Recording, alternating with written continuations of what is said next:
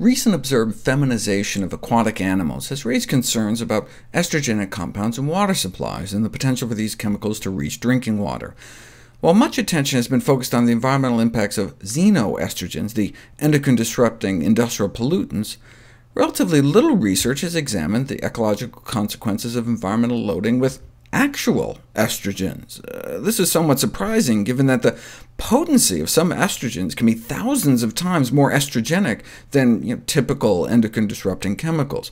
Estradiol, for example, is at least 10,000 times more potent than most xenoestrogens, and dietary exposure to natural sex steroids in meat, dairy, and eggs is therefore highly relevant in the discussion of the impact of, of estrogens on human development and health.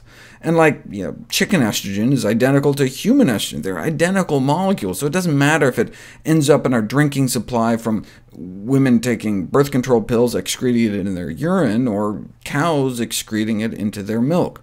The source doesn't matter, the quantity does and a child's exposure to estrogens in drinking water is about 150 times lower than exposure from cow's milk.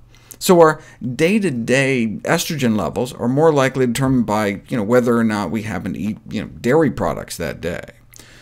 Human urine is often cited as the main source of natural and synthetic estrogens in the aquatic environment, but the level of estrogen, even in the urine of you know, heavy meat eaters who have significantly higher levels, pales in comparison to the estrogens excreted by the farm animals themselves. Uh, pigs, sheep, cattle, chickens produce literally tons of estrogen every year.